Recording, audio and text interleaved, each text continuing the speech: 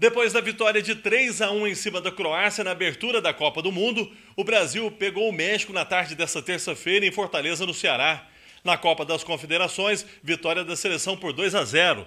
Nas ruas, hoje pela manhã, as opiniões foram otimistas. Ah, eu creio que o Brasil, pelo que começou jogando, né? Agora contra o México já vai ser um jogo mais apertado. Acho que não vai ser muito fácil, não. Viu? Eu creio que o Brasil passa, mas não vai ser muito fácil, não. Vou riscar um placar aí. 2 a 1 um. Acredito que o placar seja mais elástico ainda, viu? Porque o time agora está bem equilibrado, tá? melhorou muito e acredito muito na, na equipe do Filipão. Dá para riscar um palpite aí?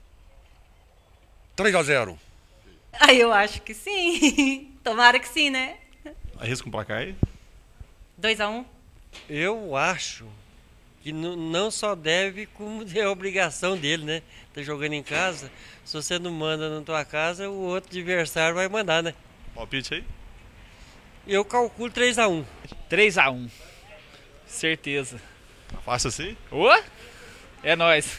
Na Copa das Confederações, o Brasil ganhou do México de 2 a 0. Esse placar deve repetir hoje? Não. Eu acho que não. Eu creio que vai ser 2 a 1 pro México. Eu acredito que seja disso para mais. O Brasil tem time para ganhar, porque tem assim, mais jogadores mais famosos, mais experiência. Mas eu acredito até eu arriscar um placar meu 3 a 1 Ah, com certeza. Arrisca um palpite aí? 2 a 0 Olha, até eu já participei de um bolão. Uhum. O, meu, o meu palpite foi 3 a 1 novamente.